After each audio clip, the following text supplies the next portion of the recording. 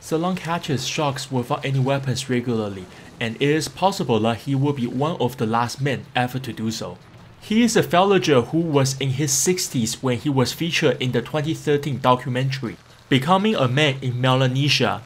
It is a tradition that for boys to become men, boys on the island must first conquer the Lord of the Sea, sharks, with nothing but sheer strength. In Papua New Guinea, an island in the southwestern Pacific, the tradition is for boys to travel to the sea in a boat without any weapons and catch a shark to show that they are ready to become men. While in the documentary, the boys think Selam was once a great shark catcher, but now he's too old and tired to teach them.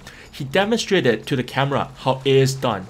He uses his handmade tools to make sounds to attract sharks, baits it with different meat before trapping it. Fortunately and unfortunately, this tradition may soon come to an end.